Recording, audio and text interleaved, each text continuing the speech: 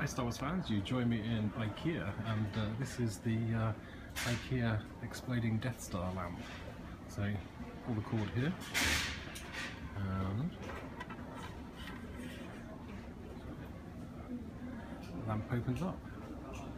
So you could really paint this up to look just like the Death Star. It looks so cool.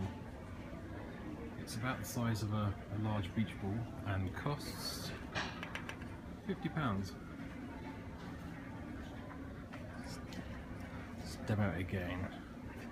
And pull and explodes. Pull again and closes up.